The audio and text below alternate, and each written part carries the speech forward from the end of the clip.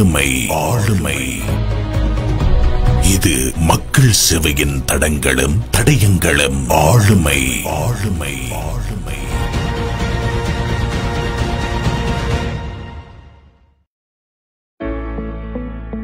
Doctor Jameel memorial hospital eye surgery கண் சத்திர சிகிச்சை. மூக்கு கண்ணாடிக்கான இலவச கண் பரிசோதனை. டாக்டர் ஜெமீல் மெமோரியல் ஹாஸ்பிட்டல் இலக்கம் முப்பத்தேழு காசிம் வீதி கல்முனை. ஹாட்லைன் பூஜ்ஜியம் ஆறு ஏழு இரண்டு இரண்டு இரண்டு ஒன்பது ஒன்று எட்டு எட்டு. அதிநவீன தொழில்நுட்ப உபகரணங்களை பயன்படுத்தி சத்திர சிகிச்சைகள் தரம் வாய்ந்த கண் வில்லைகள். அனுபவம் வாய்ந்த வைத்திய நிபுணர்கள். டாக்டர் ஜெமீல் மெமோரியல் ஹாஸ்பிட்டல் பல வருட அனுபவம் பெற்ற கண் சத்திர சிகிச்சை நிபுணர்கள் மூலம் ஜப்பானிய தரத்தில் கண் லென்ஸ்களை கொண்டு ஒவ்வொரு மாதமும் கண் சத்திர சிகிச்சைகள் நியாய கட்டணத்தில் ஏனைய வைத்தியசாலைகளை விட குறைந்த கட்டணத்தில் முப்பத்தாறு ஆண்டுகள் அனுபவம் பெற்றது. தரம் வாய்ந்த டாக்டர் ஜெமீல் மெமோரியல் ஹாஸ்பிட்டல் சகல வசதிகளையும் கொண்டு கண் சத்திர சிகிச்சை உட்பட அனைத்து சத்திர சிகிச்சைகளையும் மேற்கொண்டு வருகிறது. டாக்டர் ஜெமீல் மெமோரியல் ஹாஸ்பிட்டல் முப்பத்தேழு காசிம் வீதி கல்முனை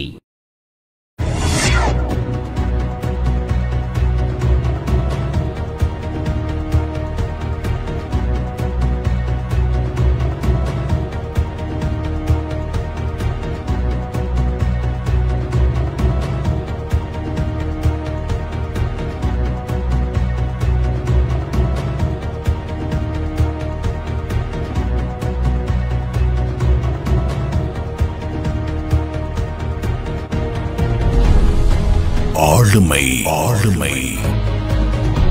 இது மக்கள் சேவையின் தடங்களும் தடயங்களும். ஆளுமை ஆளுமை ஆளுமை.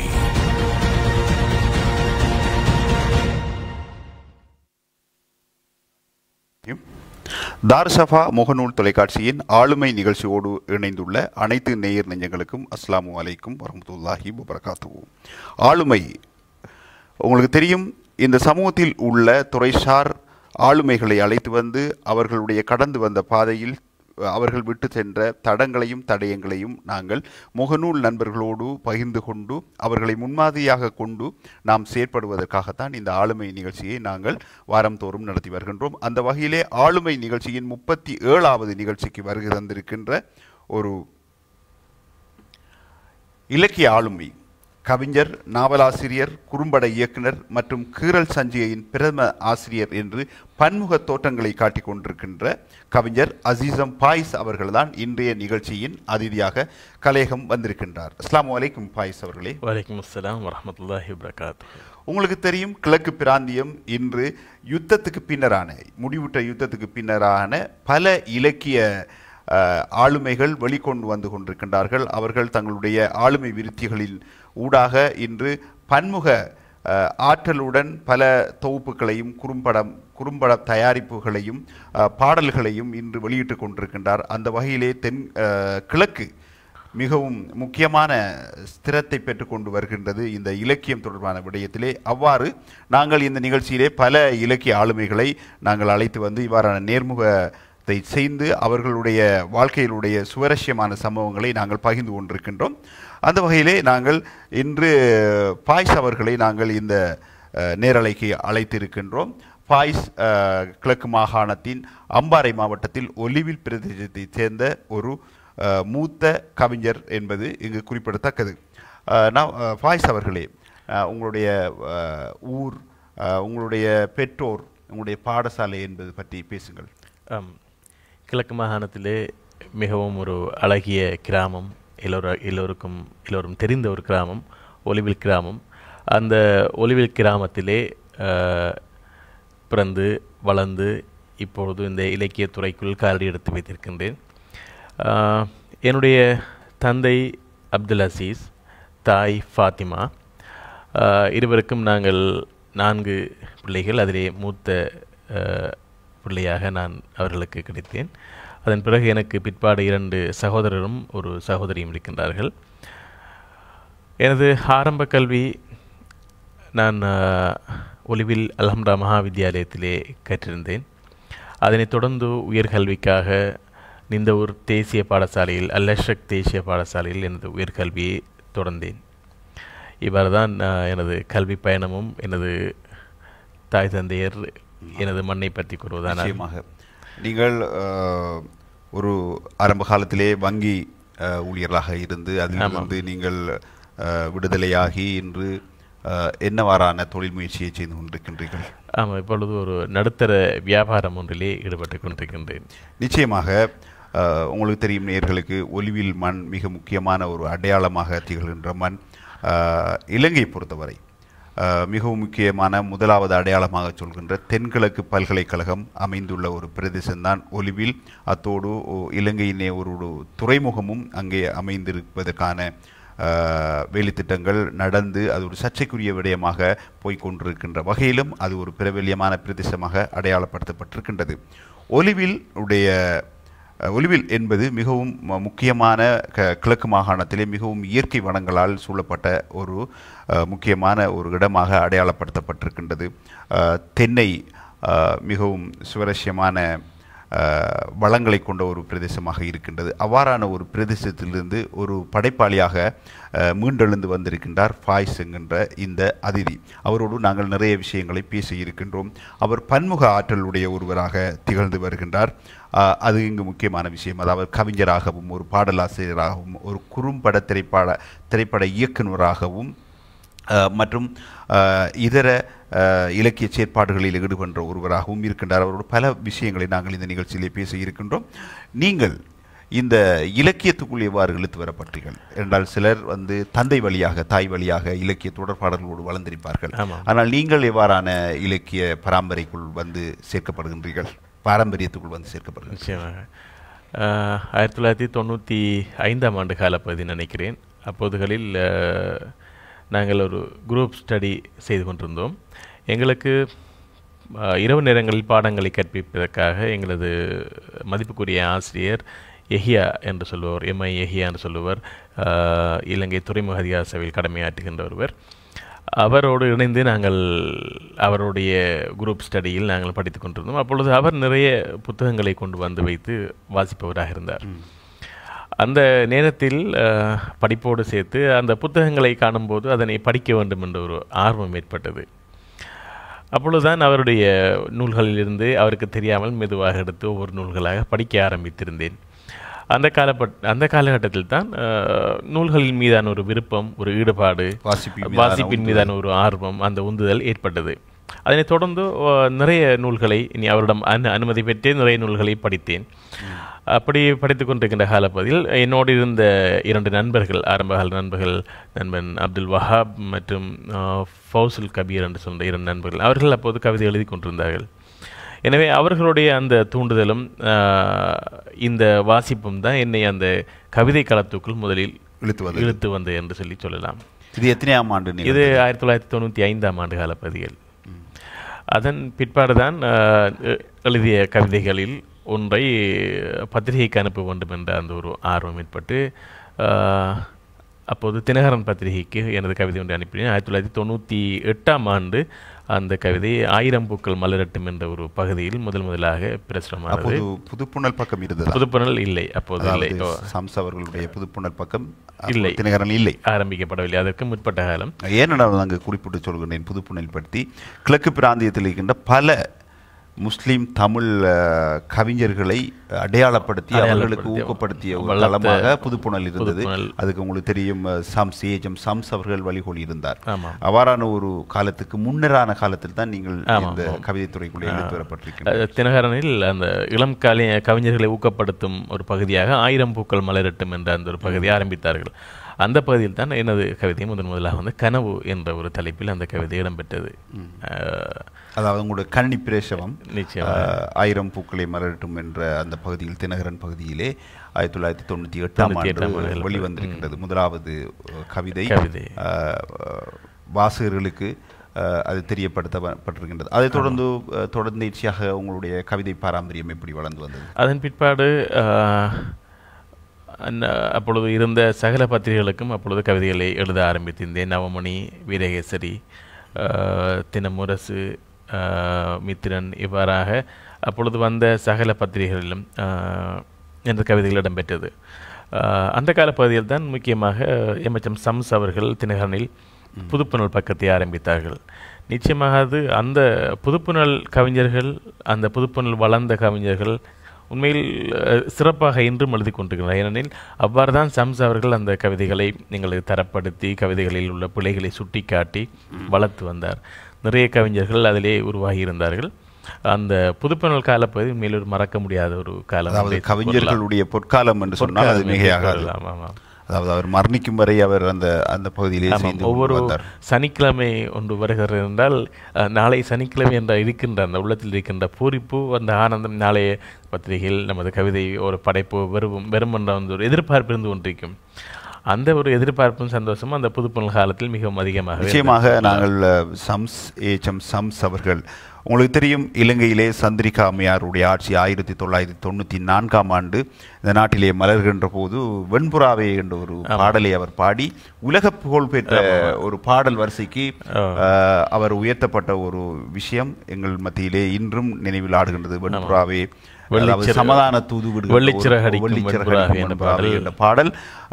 பட்டி தொட்டி எங்கும். அதாவது விடுதலை புலிகளுக்கும் அரசாங்கத்துக்கும் இடையிலான யுத்த நிறுத்தத்தை ஏற்படுத்தி புலிகளை சமாதானத்துக்கு அழைக்கின்ற ஒரு பாடலாகவும் மக்களை அதன்பால் இழுக்கின்ற ஒரு பாடலாகவும் அது ஒலித்துக் கொண்டிருக்கிறது. இப்போதும் அடிக்கடி நாங்கள் இந்த தொலைக்காட்சியிலே பார்க்கக்கூடியதாக இருந்தது. சம்ஸ் அவர்கள் மர்ஹூம் அவர்கள் அவர்கள் அவருக்கு இறைவன் நல்ல பாக்கியத்தை கொடுக்க வேண்டும். இந்த நேரத்தில் நான் அவரை நினைவு கூற வேண்டும். பல இலக்கிய ஆளுமைகளை இந்த பிரதேசத்திலே உருவாக்கியவர்கள்.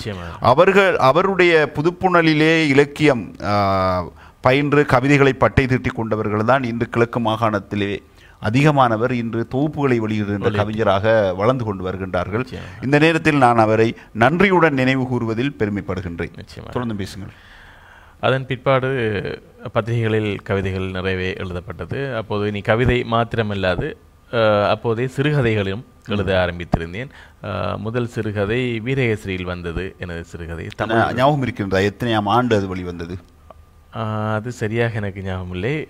அது சில வேளை ரெண்டாயிரம் ஆண்டாக கூட அல்லது பிற்பட்ட காலப்பை அறிக்கலாம் ஆஹ் தமிழ் பெண் என்ற ஒரு தலைப்பில் தான் அந்த சிறுகதை முதலில் இடம்பெற்றது. ஒரு இன ஐக்கியத்தை ஏற்படுத்தக்கூடியவாறான ஒரு சிறுகதையாக அது இருந்து எல்லோராலும் பாராட்டப்பட்டது அந்த சிறுகதை.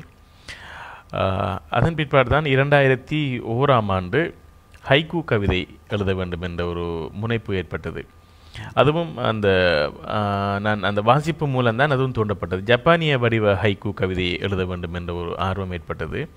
அந்த ஜப்பானிய வடிவ ஹைக்கூ நூல் ஒன்றினை படித்த பிற்பாடு தான் அதுவும் உண்மையில் ஏற்பட்டது. அந்த கவிதை அப்பொழுது நான் நினைக்கிறேன் மிகவும் அதிகமானவர்கள் எழுதப்படவில்லை. எனவே அது அதனை எழுதி எல்லோரும் செய்வதை செய்- புது கவிதைகளை வெளியிடாமல் சற்று மாறுபட்டதாக இருக்கட்டும் என்ற ஒரு முயற்சியில் தான் அதனை வெளியிட்டேன் அந்த நூலை வெளியிடுவது கூட நிறைய எழுத்தாளர்கள் எனக்கு உதவி புரிந்திருந்தார்கள். உண்மையில் அது அப்போது மறக்க முடியாத ஒரு ஒரு அம்சமாக இருந்து கொண்டிருக்கின்றது. அதாவது அந்த கவிதை தொகுப்பினுடைய பேர்? உயிர்ச்சிறகுகள் என்ற தலைப்பில் அந்த தொகுதி இடம்பெற்றது. இரண்டாயிரத்தி ஓராம் ஆண்டு. அதனை வெளியிடுவதற்கு எனக்கு மிக எனக்கு ஆர்வத்தை தந்து அதனை வெளியிடும் வரைக்கும் என்னோடு கூட இருந்தவர் ஒலிவில் அமுதன் என்ற எழுத்தாளர் பிரபலமான எழுத்தாளர். நிறைய நூல்களை வெளியிட்டிருந்தார். ஒலிவில் மண்ணை பிரபலமாக இருக்கிறாரா? இப்பொழுது இருந்து கொண்டிருக்கிறார் அவர். ஆனால் சற்று சுகீனமாக இருக்கிறார். அவருடைய அந்த ஒரு உற்சாகம் தூண்டுதல் அவர் செய்த உதவிகள் மூலம்தான் அந்த நூல் வெளிவர ஒலிவில் அமுதன் அசுகவி அன்புடீன் பாலமுனை பாருக்கா ஆகியோர். காலப்பகுதியிலே இருந்த ஒரு பெரும் எழுத்தாளராக இருக்கின்றார். நீண்ட நாளைக்கு பிறகு அந்த பெயர் அ, மறந்து விட்டது ஆனால் நீங்கள் ஞாபகம் முற்றிருக்கின்றீர்கள் மிக முக்கியமான ஒரு இலக்கிய அடையாளம். நிறைய. நூல்களை வெளியிட்டிருக்கிறார் பன்னூலாசிரியர் என்றே அவரை குறிப்பிட வேண்டும். நிறைய நூல்களை வெளியிட்டிருந்தார். இப்பொழுது சுகீனமாக இருக்கின்றார் நினைக்கின்றேன். ஆஹ் அவருடைய உ- இப்பொழுது உதவி நீங்கள் ஒத்தாசையில் மறக்க கவிதையிலிருந்து முடியாது. சிறுகதைக்கு வந்திருக்கின்றீர்கள். ஆமாம் சிறுகதை இருந்து ஹைகோவுக்கு வந்து விட்டேன். ஹைகோ கவிதை தொகுதி இரண்டாயிரத்தி ஒன்றில் அதன் பிறகு வெளிவந்தது என்று கூறலாம். அது அந்த அதனுடைய பெயரை சொல்லுங்கள். ஓம் உயிர்ச்சிறகுகள் என்ற தலைப்பு. நூற்றி எழுபத்தி எட்டு ஹைக்கூக்கள் அதில் இடம்பெற்றிருந்தது அது உண்மையில் அந்த காலகட்டத்தில் மிகவும் ஒரு நிறைய பேர் கலந்து கொண்ட ஒரு பெரிய ஒரு நிகழ்வாக இருந்தது. ஒலிவில்லை பொறுத்தளவில். அதன் அதிலிருந்து மிக நீண்ட இடைவெளி ஏற்ப தேவைப்பட்டது அடுத்த நூல் வெளியிடுவதற்கு. இரண்டாயிரத்தி ஒன்றுக்கு பிறகு இரண்டாயிரத்தி எட்டில் தான் என்னுடைய நாவல் வெளிவந்தது. வயலான் குருவி என்ற நாவல். அதுவும் கலாச்சார திணைக்களம் அகில இலங்கை ரீதியாக ஒரு நாவல் எழுதுவதற்கான போட்டி ஒன்றினை அறிவித்திருந்தார்கள். அந்த அந்த நேரத்தில் தான் ஒரு நாவல் எழுதி பார்த்தால் என்ன என்ற ஒரு ஒரு மனசில் இருந்த ஒரு எண்ணம் நீண்ட காலமாக நாவல் ஒன்று எழுத வேண்டும் என்ற எண்ணம் இருந்தது. அதற்கான அந்த ஒரு சந்தர்ப்பமாக அந்த சந்தர்ப்பமே பெற்றது. எனவே நாவல் எழுத வேண்டும் என்ற ஒரு முனைப்பில் அந்த நாவலை எழுத ஆரம்பித்தேன். ஒரு குறுகிய காலத்தில் தான் அந்த நாவல் எழுதப்பட்டது. ஒரு எனவே போட்டிக்கு அனுப்பி அந்த போட்டியில் அது தெரிவு செய்யப்பட்டு முதலிடம் பெற்றதால் கலாச்சார திணைக்களத்திலே அதனை நூல் உருவாக்கப்பட்டு அதுக்குரிய முதல் பரிசும் கிடைத்தது எனக்கு. நிச்சயமாக ஒரு ஒரு முக்கியமான விடயத்தை சொல்லியிருக்கின்றீர்கள் இந்த கிழக்கு பிராந்தியத்தில் இருக்கின்ற ஒலிவில் மண்ணிலிருந்து ஒரு நாவல் தேசிய ரீதியிலான சர் தேசிய ரீதியான அடையாளத்துக்கு கொண்டு செல்லப்பட்டு அது கலாச்சார திணைக்களத்தினால் விருதுக்கு தெரிவு செய்யப்பட்டது என்பது ஒரு மிக முக்கியமான ஒரு அடையாளம். ஆனால் அவ்வாறான அடையாளங்கள் பேசுபொருட்கள் இல்லாமல் இருப்பது வேதனைக்குரிய விஷயங்கள். ஏனென்றால் இவ்வாறான அடையாளங்களை இவ்வாறான நூல்களை நாங்கள் வேறு ஒரு வடிவத்திலே சமூகத்தின் மத்தியிலே கொண்டு சேர்க்க வேண்டிய தேவை இருக்கின்றது. இன்ஷா அல்லாஹ் அது தொடர்பாக நாங்கள் வெளிவாரியாக இந்த விஷயங்களை நாங்கள் பேசுவதற்கு எத்தனிக்கின்றோம். வயலான் குருவிகள் என்பது மிகவும் பிரபல்யமான ஒரு நாவலாகத்தான் நான் அதை அறிந்திருக்கின்றேன். ஒரு நல்ல ஒரு அடையாளமாக அது இருக்கின்றது. நான் உங்களை விழிக்கின்ற போது விழிக்க வேண்டும். வயலாங்குருவிகள் புகழ் பாய்சன் தான் விரிக்க வேண்டும். அந்த அளவுக்கு வயலான் குருவி உங்களை ஒரு கட்டத்துக்கு. இலக்கியத்திலே ஒரு படித்தரத்தைக்கு உங்களை உயர்த்தியதை நான் அறிவேன். தொடர்ந்தும் பேசுவோம். அஹ், வயலான் குருவி நாவலுக்கு அதன் பிறகு ரெண்டாயிரத்தி ஒன்பதாம் ஆண்டு கிழக்கு மாகாண ஆளுநர் விருது கிடைத்தது. அதே ஆண்டு சாகித்ய மண்டல விருதுக்காக இறு- இறுதித் தேர்வுக்கும் சென்று அந்த நாவல் வந்தது. எனவே அவ்வாறு அந்த மூன்று விருதுகளுக்குள் அந்த நாவல் சென்று வந்து என்று குறிப்பிடலாம். கலாநிதி யோகராஜா சார் அவர்கள் அடிக்கடி இந்த நாவலை பேராசிரியர் யோகராஜா அவர்கள் இந்த நூலை பற்றி அடிக்கடி பேசுவார். அது மாத்திரமில்லை ரமீஸ் அப்துல்லா பேராசிரியர் ரமீஸ் ரமீஸ் அப்துல்லா சார் அவர்களோட எங்களுடைய அந்த வெளியீட்டு விழா நிகழ்வுக்கு வந்திருந்தார். அப்போது கூட அந்த நாவலை பற்றி நிறைய விடயங்களை சுட்டிக்காட்டி பேசினார்.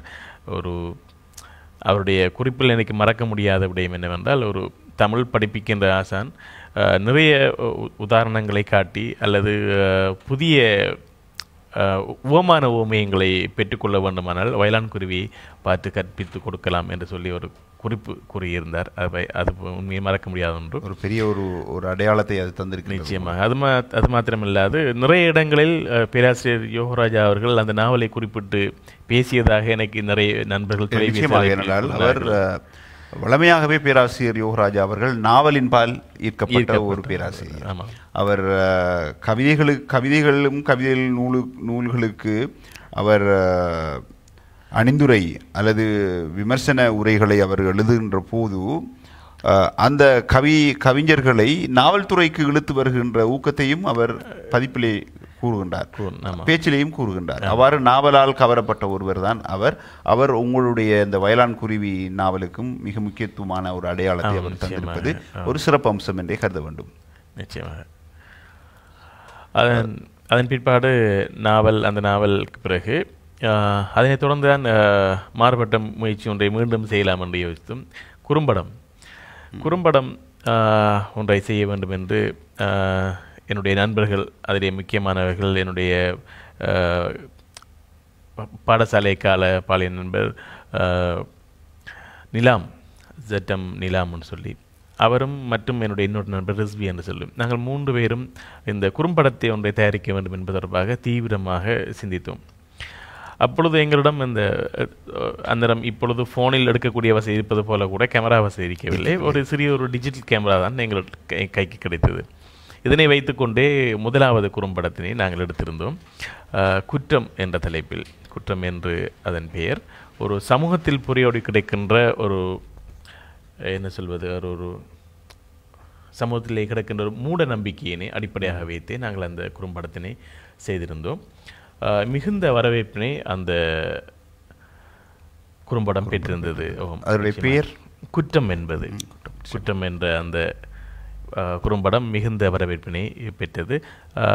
அதன் பிற்பாடு தான் மீண்டும் நாங்கள் குறும்படத்தினை இந்த இலக்கியத்துறையிலே குறும்படத்தினையும் ஒரு சிறந்த கருத்தை கூற மக்களுக்கு சொல்வதற்கு இலகுவாக இலகுவாக சொல்லக்கூடிய ஒரு வழியாக அதனை அடையாளம் கண்டோம். அதாவது ஒளிச்சித்திரத்தினூடாக மிக தெளிவாக. சொல்லக்கூடிய ஒரு. வடிவமாக குறும்படத்தை எடுத்துக்கொள்ளலாம். ஆமாம். அதன் பிற்பாடு தான் மூன்று கிட்டத்தட்ட ஐந்து குறும்படங்களை நாங்கள் செய்திருந்தோம். ஒன்றன் பின் ஒன்றாக ஒன்றன் பின் ஒன்றாக செய்திருந்தோம். அந்த வகையில் கடைசியாக இரண்டு குறும்படங்கள் அண்மையிலேயும் எடுத்திருக்கின்றோம். இன்னும் அது வெளியிடப்படவில்லை. அந்த குறும்படங் படங்களும் சமூக சார்ந்த பிரச்சனைகளை தான் நாங்கள் எல்லாம் அதில் எல்லாம் பேசு பொருளாக கொண்டிருக்கின்றோம். இது தவிர நீ உங்களுடைய இந்த பாடல்களும் அடிக்கடி உங்களுடைய முகநூல்களிலும் பிரபலியம் பெற்று வருகின்ற ஒரு நிகழ்வு இருக்கின்றது. இது இது எவ்வாறு அதாவது ஒரு கவிஞராக ஒரு சிறுகதையை ஆசிரியராக ஒரு நாவலாசிரியராக ஒரு குறும்பட இயக்குனராக ஒரு பாடலாசிரியராக என்று எவ்வாறு இந்த வடிவத்தை உங்களால் எடுக்க முடிகின்றது? நிச்சயமாக எல்லாம் காலத்தின் தேவை என்றே கூறலாம். அதுபோல இந்த பாடல் பாடலாக்க துறைக்குள் உள்வர காரணம் மற்றொரு நண்பர் சகோதரர் ஃபைசுர் ரஹ்மான் என்று சொல்லி. ஒரு சிறந்த பாடகர் நிறைய விருதுகளை பெற்ற ஒரு பாடகர் சிறந்த குரல் வளம் உள்ளவர். அவருக்காக அவர் அவருடைய ஆல்பம் ஒன்றினை செய்ய வேண்டும் என்ற அவருடைய முயற்சிக்காக நான் அவருக்காக நான் அந்த பாடல் ஒன்றை எழுதினேன். அது ஒரு இஸ்லாமிய கீதமாக இருந்த முதல் அந்த எழுதப்பட்ட பாடல். அதற்கு ஒரு இந்து மத இசையமைப்பாளர் தான் அந்த பாடலுக்கு இசையமைத்திருந்தார். மாலிக்குல் முல்கே அல்லா மலிக்குல் குத்தூஸ் அல்லா என்ற ஒரு பாடல். அது அதுக்கு நாங்கள் வீடியோ காட்சியும் படப்பிடிப்பும் செய்து அந்த பாடலை வெளியிட்டிருந்தோம். உண்மையில் அது மிகுந்த வரவேற்பு பெற்றது. அதில் இசை பாடல் வரிகள் பாடகருடைய குரல் வளம் எல்லாம் மிக சிறப்பாக அமைந்திருந்தது- அதன் அதன் பிற்பாடு அடிக்கடி வேறு வேறு பாடல்களில் நிறைய பாடல்களையும் எழுத வேண்டி வந்தது. அதில் அண்மையில் கடந்த தேசிய தினத்தன்று நமது இலங்கையின் தேசிய தினத்தன்று எழுபத்தி ரெண்டாவது தேசிய தினத்தன்று ஒரு பாடலை எழுதியிருந்தேன் நான். அந்த பாடலை நானே பாடினால் என்ன என்ற ஒரு எண்ணம் ஒரு பரிச்சார்த்த முயற்சி ஒரு என்ன சொல்வது விசப்பரிச்சி என்று கூட சொல்லலாம். எனவே அந்த பாடலை நானே எழுதி அந்த பாடலை நானே பாடியிருந்தேன். அதற்கும் என்னுடைய நண்பர் சகோதரர் நிலாம் அவர்கள் தான் எப்பொழுதும் போலவே எங்களுடைய சகல படப்பிடிப்புகள் எங்களுடைய கேமரா முயற்சிகள் எல்லாம் அதோட அதோடு சம்மந்தப்பட்ட எடிட்டிங் எல்லாம் நண்பன் நிலாம் அவர்கள் தான் செய்வார். அதுபோலவே அந்த பாடல் காட்சி கூட அவர் தான் படமாக்கியிருந்தார் எங்களுடைய ஒளிப்பதிவாளர். மிக அந்த பாடல் காட்சியை பார்த்தவர்கள் கூடினார்கள் இவ்வாறான ஒரு இடம் நமது கிழக்கு பகுதியில் இருந்ததா என்று சொல்லி. ஏன்னா குறுகிய ஒரு சின்ன சிறிய இடம்தான் அதனை அவர் மிக அழகாக படம் பிடித்திருந்தார்.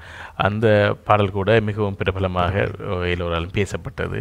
அதனுடைய வரிகள் கூட சிறந்ததாக இருந்ததாக எல்லோரும் கூறினார்கள் இது தவிர இவ்வாறான படிமுறை வளர்ச்சிகள் அல்லது அந்த வெளியீடுகள் தொடர்பிலே நீங்கள் பல்வேறுபட்ட இன்னல்களை அசௌகரியங்களை அல்லது சவால்களை எதிர்நோக் எதிர்நோப்பியிருப்பீர்கள் ஆமா. அவ்வாறு அவ்வாறு நீங்கள் எதிர்கொண்ட சவால்கள் அதாவது உங்களுக்கு தெரியும் கவிதை கவிஞன் வந்து அவனுடைய படைப்பை வெளியே கொண்டு வந்து வெளியிடுவதற்கு பொருளாதாரம் பெரிய தடையாக இருக்கும் இவ்வாறான ஒரு விடயத்தை உங்களால் எவ்வாறு கையாண்ட கையாள முடிந்தது?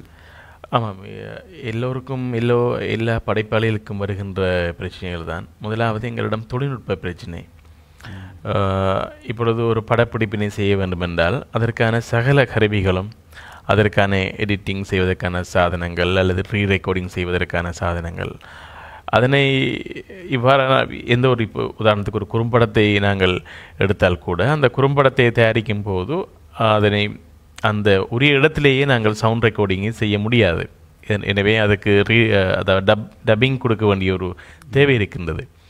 எனவே அவ்வாறான தேவைகள் ஒளிப்பதிவு கூடங்கள் கூட எம்மிட எம்மிடம் இன்று இல்லை. இல்லை. சிறந்த இப்பொழுது ஒளிப்பதிவு ஒரு குறுந்திரைப்படம் எங்களோ நாலைந்து பேர் இருந்து ஒரே நேரத்தில் பேசி அந்த ஒளிப்பதிவுகள் மேற்கொள்ள வேண்டி வரும். அவ்வாறான ஒரு ஒளிப்பதிவு வசதிகள் இல்லை. சிறந்த கேமரா வேண்டும் எங்களுக்கு. அந்த படப்பிடிப்பு காட்சிகளை செய்வதற்கு. அதனை உரிய இடங்கள் எடுக்கும்போது லைட் சிஸ்டம் தேவைப்படும். இப்படி சகல பிரச்சனைகளையும் தாண்டி அவைகளை எங்களிடம் இருக்கின்ற சிறிய சிறிய அமைப்புகள் ஊடாக நாங்கள் அதற்கான ஒரு ஆல்டர்னேட்டிவ் வழியினை கண்டுபிடித்ததே இவ்வாறான விஷயங்களை உள்ளதை கொண்டு போதுமாக்கி உள்ளதை கொண்டு- போதுமாக்கி கொண்டோம். அப்படித்தான் கூற வேண்டும்.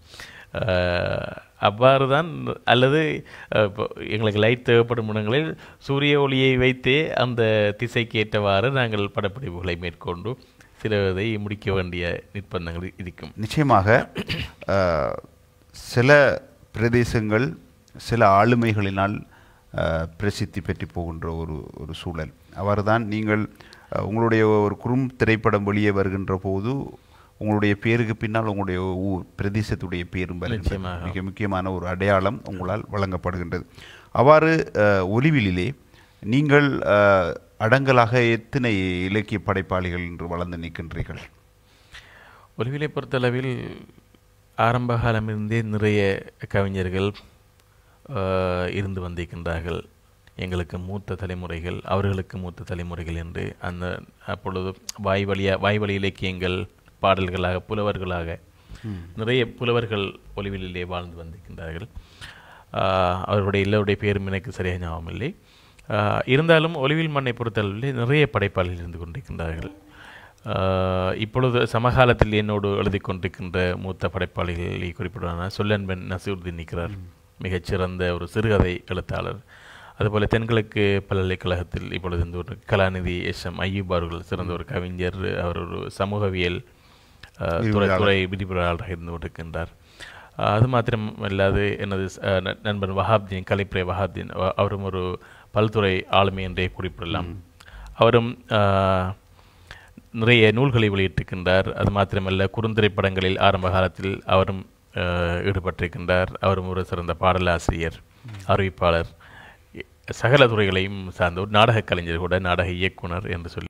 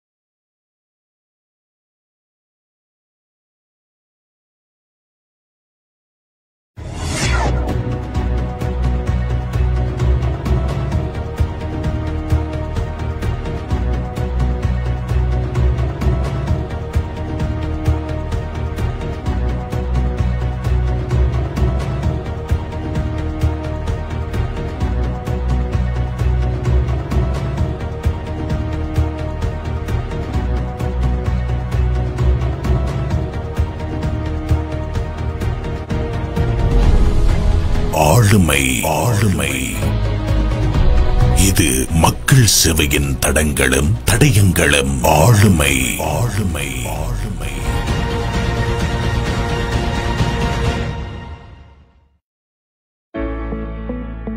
Doctor Jameel memorial hospital eye surgery கண் சத்திர சிகிச்சை.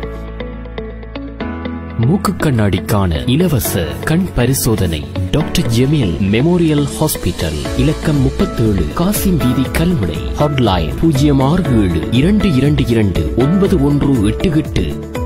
அதிநவீன தொழில்நுட்ப உபகரணங்களை பயன்படுத்தி சத்திர சிகிச்சைகள் தரம் வாய்ந்த கண் வில்லைகள். அனுபவம் வாய்ந்த வைத்திய நிபுணர்கள்.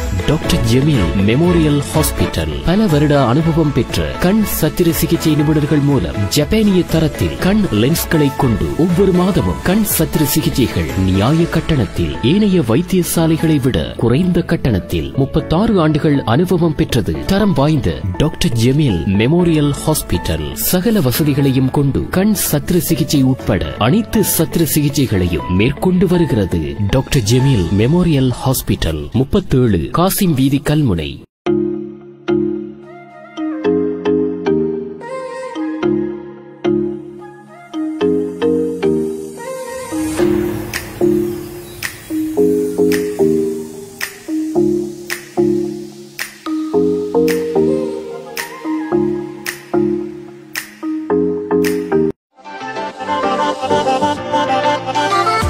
உங்கள் பாதுகாப்பை உறுதிப்படுத்தும் நோக்கில் சிசிடிவி கேமராக்கள் ஹிக்விஷன் தவா போன்ற கேமராக்களை உங்கள் வியாபார நிறுவனங்கள் வீடுகள் அரசு நிறுவனங்கள் தனியார் நிறுவனங்கள் வணக்க ஸ்தலங்கள் போன்றவற்றிற்கு மிக நியாயமான கட்டணத்தில் வழங்குவதோடு இருபத்தி நான்கு மணி நேரமும் உங்கள் மொபைல் போனில் கண்காணிக்கும் வாய்ப்பு. அத்துடன் புத்தம் புதிய சிசிடிவி கேமராக்களை வழங்குவதோடு பழுதடைந்த சிசிடிவி கேமராக்களை துரித கதியில் திருத்தி பெற்றுக் கொள்ளும் வாய்ப்பினையும் வழங்குகின்றார்கள். ஹைடெக் சிசிடிவி இன்ஸ்டலேஷன் மெயின்டெனன்ஸ் இலக்க முன்னூற்று பதினெட்டு பிரதான வீதி கல்முனை. தொலைபேசி தொடர்புகளுக்கு உடன் அழையுங்கள். சைபர் ஏழு ஏழு முப்பத்தைந்து முப்பத்தாறு எழுநூற்றி ஐம்பத்தாறு no double seven three five three six seven five six.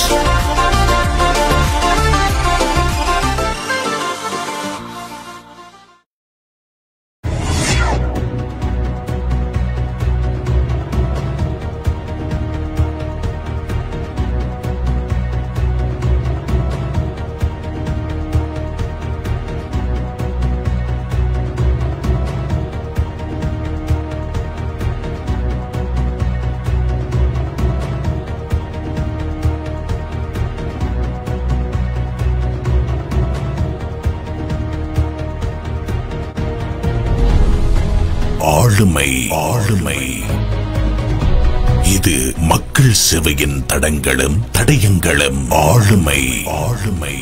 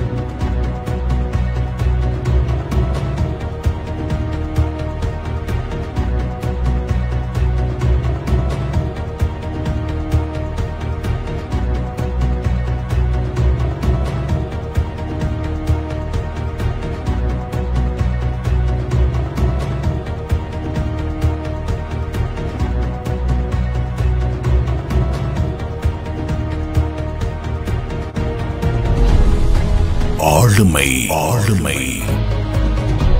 இது மக்கள் சேவையின் தடங்களும் தடயங்களும். ஆளுமை ஆளுமை ஆளுமை.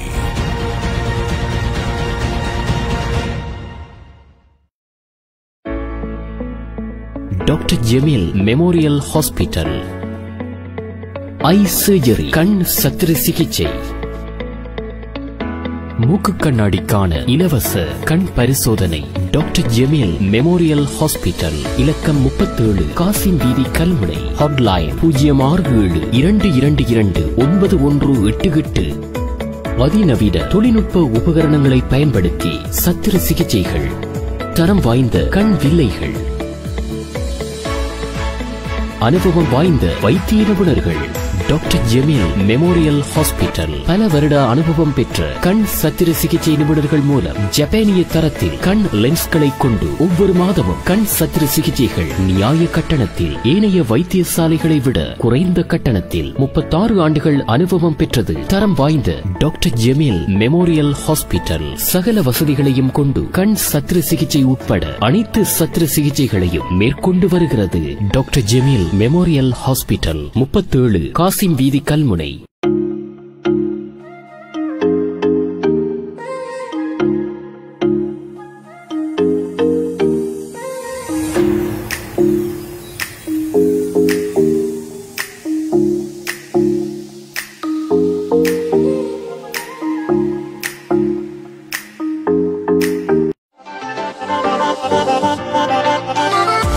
உங்கள் பாதுகாப்பை உறுதிப்படுத்தும் நோக்கில் சிசிடிவி கேமராக்கள் ஹிக்விஷன் தபா போன்ற கேமராக்களை உங்கள் வியாபார நிறுவனங்கள் வீடுகள் அரசு நிறுவனங்கள் தனியார் நிறுவனங்கள் வணக்க ஸ்தலங்கள் போன்றவற்றிற்கு மிக நியாயமான கட்டணத்தில் வழங்குவதோடு இருபத்தி நான்கு மணி நேரமும் உங்கள் மொபைல் போனில் கண்காணிக்கும் வாய்ப்பு. அத்துடன் புத்தம் புதிய சிசிடிவி கேமராக்களை வழங்குவதோடு பழுதடைந்த சிசிடிவி கேமராக்களை துரித கதியில் திரு சிசிடிவி இன்ஸ்டலேஷன் மெயின்டெனன்ஸ் இலக்க முன்னூற்று பதினெட்டு பிரதான வீதி கல்முனை. தொலைபேசி தொடர்புகளுக்கு உடன் அழையுங்கள். சைபர் ஏழு ஏழு முப்பத்தைந்து முப்பத்தாறு எழுநூற்று ஐம்பத்தாறு. No double seven three five three six seven five six.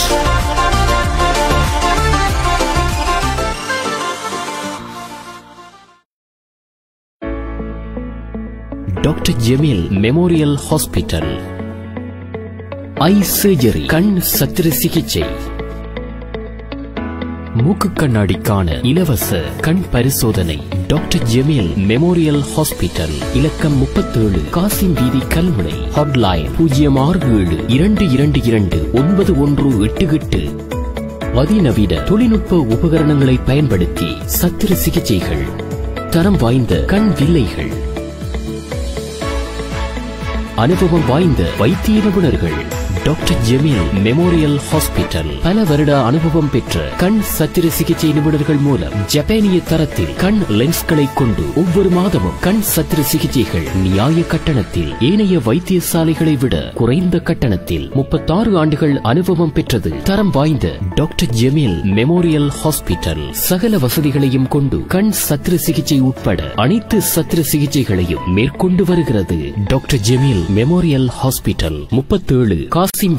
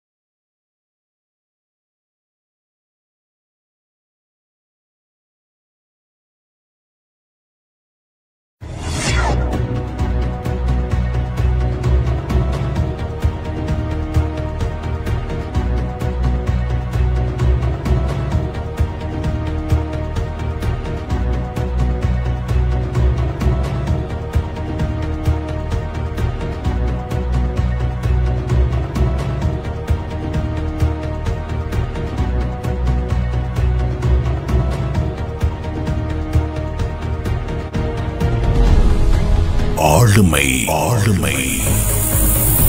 இது மக்கள் சேவையின் தடங்களும் தடயங்களும் ஆளுமை ஆளுமை. ஆளுமை.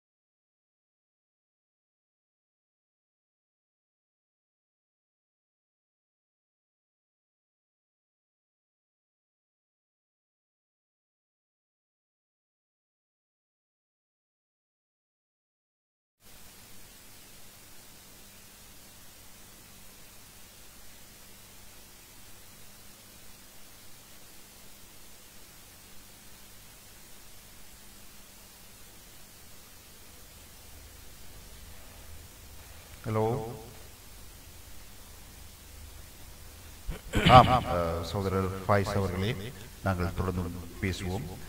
சிறிய அஹ், இடைவெளிக்கு பிறகு திறந்து நாம் பேசிக் கொண்டிருக்கின்றோம் நாங்கள் ஏற்கனவே காய்ச்சி எகடமி போல நாங்கள் ஒரு எல்லோரும் சேர்ந்து செயற்படுவதன் மூலம் நல்ல பலாபலனை அடையலாம் என்று நாம் கூறுகின்றோம். அது தவிர உங்களுக்கு தெரியும் ஒளிவில் இன்று இந்த பிராந்தியத்தில் அதாவது முழு இலங்கையிலும் ஒரு பெரிய பேசு பொருளாக மாறி இருக்கின்றது ஒலிவில்லில் அவலமாக ஒரு ஒரு விடயம் சித்தரிக்கப்பட்டுக் கொண்டிருக்கின்றது. இந்த கடல் அறிவு அதாவது இந்த துறைமுக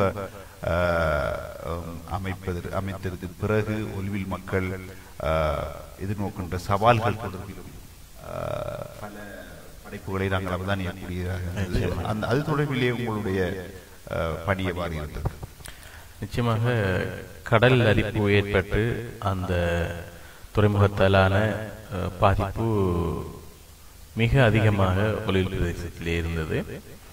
அதிலே மிக முக்கியமாக மீனவர்களுடைய தொழில் முற்றுமுழுதாக பாதிக்கப்பட்டு இருந்த அதே வேளை ஆஹ், ஊருடைய நிலப்பரப்பை கூட அது மிக ஆமாம் நிச்சயமாக காவொன்று மிக அதிகமான நிலங்களை ஆஹ், கடல் எடுத்துக்கொண்டிருந்தது எனவே மொத்தமாக ஆஹ், சமூகம் சேர்ந்து அதற்கு எதிரான ஒரு போர்க்கொடியினை தூக்கியிருந்தது.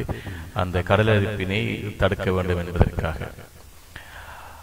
அந்த கடலரிப்பினை தடுக்க வேண்டும் என்ற முயற்சியில் ஆஹ், இருந்த சகல தரப்பினரும் சேர்ந்து ஆஹ், தங்களுடைய எதிர்ப்பினை வெளிக்காட்டி ஆஹ், ஆர்ப்பாட்டங்களை செய்து ஆஹ், அதில் உரிய மட்டங்களுக்கு போய் சேர வேண்டும் என்பதற்காக போராடினார்கள். ஆஹ், நிறைய போராட்டங்கள் அதில் இடம்பெற்றது.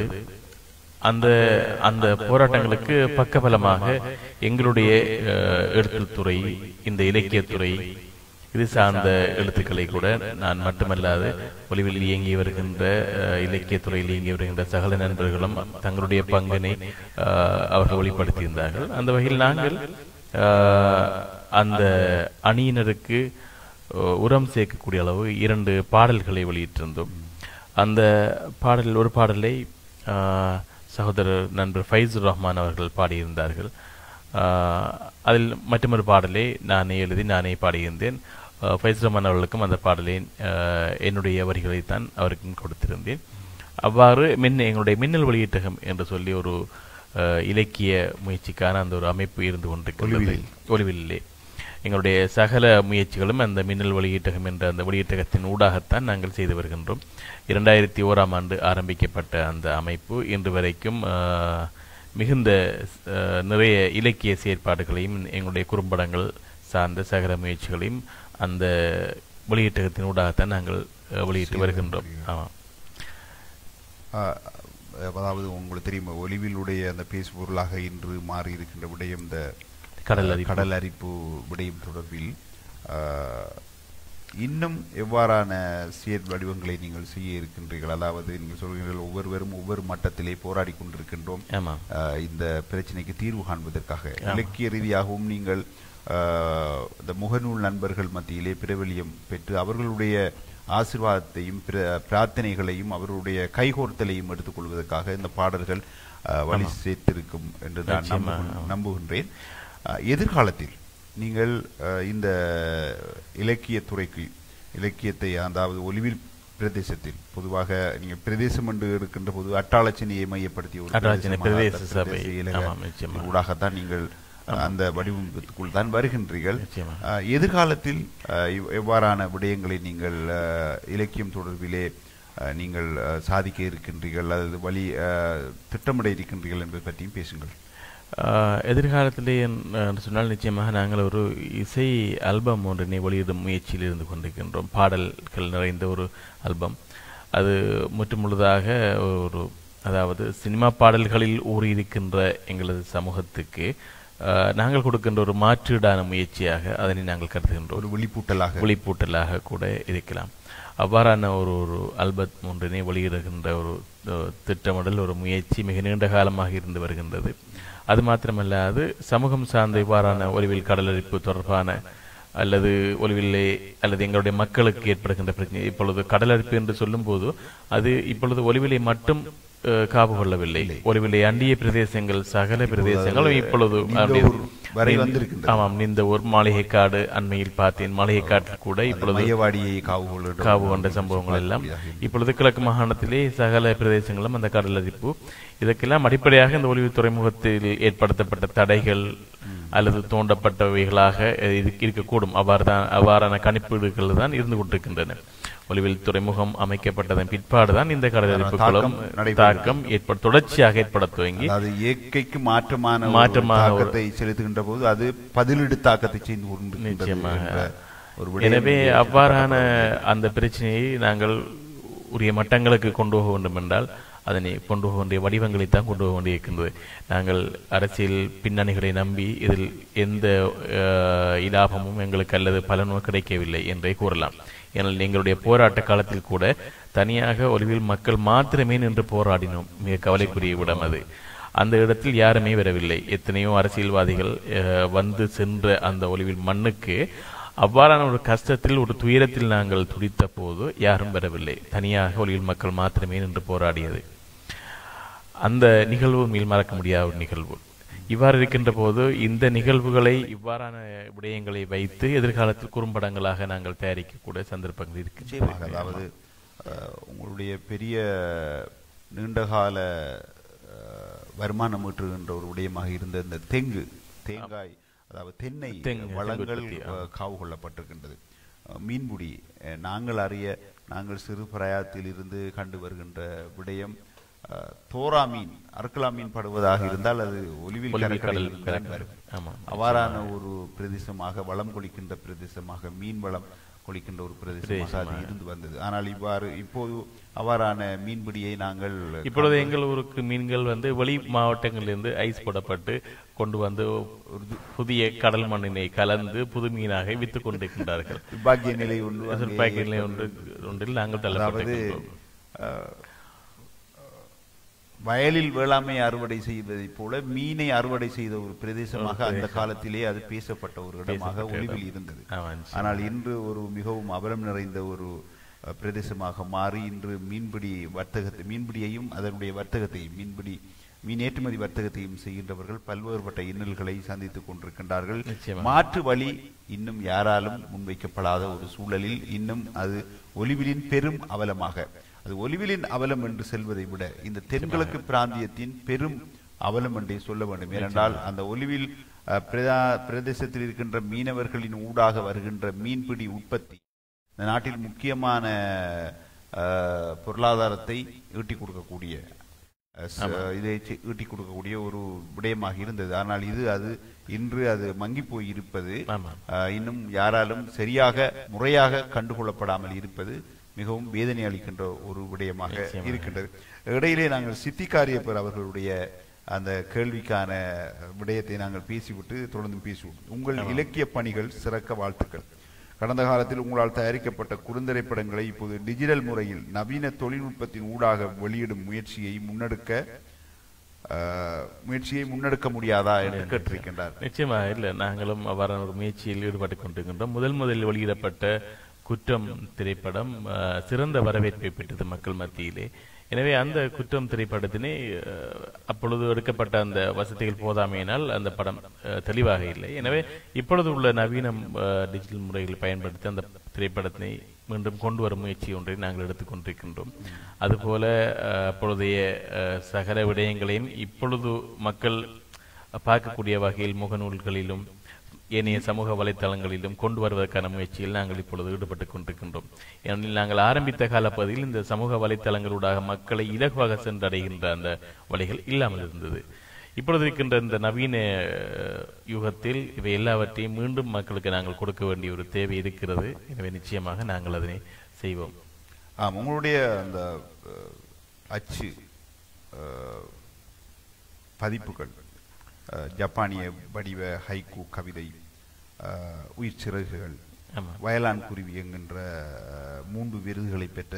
கிராமிய ஒரு நாவல் அடுத்தது நீங்கள் காலாண்டு இலக்கிய சஞ்சிகையாக இப்போது வெளியிட்டுக் கொண்டிருக்கின்ற கீறல் சஞ்சிகை இதுக்கு அப்பால் குறும்படத்துறையை எடுத்துக்கொண்டால் ரெண்டாயிரத்தி பதினொன்றில் குற்றம் ரெண்டாயிரத்தி பன்னெண்டில் கண்ணாடி ரெண்டாயிரத்தி பன்னிரெண்டில் அஹ், மீளவும் பொற்காசு ரெண்டாயிரத்தி பதினெட்டில் வினை என்று நான்கு குறும்படங்களை நீங்கள் உங்களுடைய கதை சித்திரத்தின் ஊடாக நீங்கள் அதை வெளிக்கொண்டு வந்திருக்கின்றீர்கள். பாடலாக்கத்தை எடுத்துக்கொண்டால் கண்ணா கண்ணாவா தூதர் மாடி தேடுகின்றேன் என்று ஒரு பாடல் மாலிக்குல் முல் முல்கே அல்லாஹ் என்ற ஒரு இஸ்லாமிய கீதம் யாரு செய்த பாவமோ என்கின்ற ஒரு பாடல் பள்ளக்காட்டு பூமி. மிக முக்கியமான ஒரு அடையாளமாக இருக்கின்ற ஒலிவினுடைய பிரதேசம். அவ்வாறான விடயங்களையும் சித்தரிக்கின்ற பாடல்களையும் நீங்கள் கொண்டிருக்கின்றீர்கள் இந்த கீறல் காலாண்டு சஞ்சிகை பற்றி இந்த நிகழ்ச்சியிலே பேசுங்கள். ஆமாம். அதனுடைய நோக்கம் எவ்வாறான கருவூலத்தை கொண்டு அது இயக்கம் பெற்று ஆமாம். வருகிறது அஹ், இரண்டாயிரத்தி ஓராம் ஆண்டு என்னுடைய உயிர் சிறகுகள் நூல் வெளியிட்ட பிற்பாடு நசூருத்தீன் அஹ், சிறுகதை எழுத்தாளர் அவரும் என்னோடு சேர்ந்து என்னுடைய நண்பர்கள் நிலாம் மற்றும் ஏனைய இலக்கிய நண்பர்களிடம் சேர்ந்து நாங்கள் முயற்சி யோசித்தோம் ஒரு இலக்கிய சஞ்சிகை ஒன்றினை வெளியிட்டால் நாங்கள் என்ன எங்களுடைய சகருடைய ஆக்கங்களையும் கொண்டு நாங்கள் ஒரு இலக்கியத்துக்கு எங்கள் நாங்கள் தொடர்ச்சியாக இயங்க வேண்டும் என்றால் ஒரு களம் இருக்க வேண்டும் எனவே ஒரு சஞ்சிகை ஆரம்பிப்போம் என்ற முயற்சியில் முதல் முதலில் அந்த சஞ்சிகையினை இரண்டாயிரத்தி ஓராம் ஆண்டு தான் அதனையும் ஆரம்பித்தோம் அது ஆரம்ப இதழா இதழ் ஒரு ரமலான் மாதத்தில் வெளிவந்ததால் ஒரு முற்றுமுழுதாக இஸ்லாமிய இதழாகவே நாங்கள் அதனை வடிவமைத்திருந்தோம் வடிவமைத்த கால பகுதியில் சில எதிர்ப்புகள் அதற்கும் ஏற்பட்டு அதன் மூலம் அந்த சஞ்சிகை பிரபலமடைந்தது என்றே கூறலாம். அது ஒரு மறக்க முடியாத நிகழ்வு. அதன் பிற்பாடு அதன் இரண்டாவது மூன்றாவது இதழ்கள் எல்லாம் அகில இலங்கை ரீதியாக நாங்கள் சகல மட்டங்களிலிருந்தும் எழுத்தாளர்கள் மீது ஆக்கங்களை பெற்று ஒரு சிறந்த ஒரு இலக்கிய இதழாக கொண்டு வருவதற்கு நாங்கள் அதனை முயற்சி செய்திருந்தோம். எனவே இரண்டாவது மூன்றாவது நான்காவது இதழ் வரைக்கும் தொடர்ச்சியாக வந்து சிறிய இடைவேளைகளுக்கு பிறகு ஐந்தாவது ஆறாவது இதழ்கள் வெளிவந்து இடையிலே நின்றுவிட்டது. குறிப்பிட்ட சொல்வதா ஏன் நின்றது என்று கேட்டால் எல்லா இதழ்களுக்கும் ஏற்படுகின்ற பொருளாதார பிரச்சனைகள் தான் இலக்கிய சஞ்சிகளுக்கு ஏற்படுகின்ற பிரச்சனை தான் அதற்கும் ஏற்பட்டது. எனவே அந்த சவால்களை தாண்டி மீண்டும் கீரலை நாங்கள் கொண்டு வர வேண்டும் என்ற ஒரு முயற்சியில் மீண்டும் ஆரம்பித்தோம். இப்பொழுதுதான் அதனுடைய ஏழாவதும் எட்டாவதும் இதழ்களை நாங்கள் ஒரே நேரத்தில் வெளியிட்டிருந்தோம். ஏனெனில் ஏழாவது இதழ் ஏற்கனவே தயாரிக்கப்பட்ட நிலையில் இருந்ததால் அதனை வைத்துவிட்டு எட்டாவது இதழுக்கான புதிய ஆக்கங்களை எடுத்து இரண்டு இதழ்களையும் அண்மையில் வெளியிட்டிருந்தோம். அதாவது கடந்த ஏப்ரல் மாதத்தளவில் வெளியிட்டிருந்தோம். இப்பொழுது ஒன்பதாவது இதழுக்கான வேலைகளை நடந்து கொண்டிருக்கின்றன. இந்த கீரல் பத்திரிகை கீரல் சஞ்சிகை எவ்வாறான உள்ளடக்கத்தை கொண்டதாக இருக்கின்றது? ஆரம்ப காலத்தில் நாங்கள் இலக்கியம் அரசியல் சார்ந்த விடயங்களை பேசக்கூடிய ஒரு சஞ்சிகாதான் ஆரம்பித்திருந்தோம். ஆறாவது இதழ் வரைக்கும் அரசியல் கட்டுரைகள் கூட இடம்பெற்று வந்த ஒரு இதழாகத்தான் வந்தது. பொதுவாக சகல ஒரு பல்சுவை இதழாக கொண்டு வந்திருந்தோம்.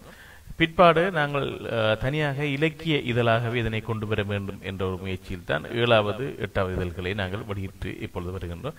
இப்பொழுது கூட மீண்டும் சிந்திக்கின்றோம். இதனை ஒரு பல்சுவை இதழாக மாற்றுவதா அல்லது தனியே இலக்கிய இதழாக இருந்து கொண்டிருக்க வேண்டுமா என்று சொல்லி ஒரு ஒரு வாத பிரதிவாதங்களுக்குள் இருந்து கொண்டிருக்கிறது. இருந்தபோதும் இது ஒரு முற்றுமுழுதாக ஒரு இலக்கிய இதழாகவே நாங்கள் கொண்டு வர முயற்சிக்கின்றோம்.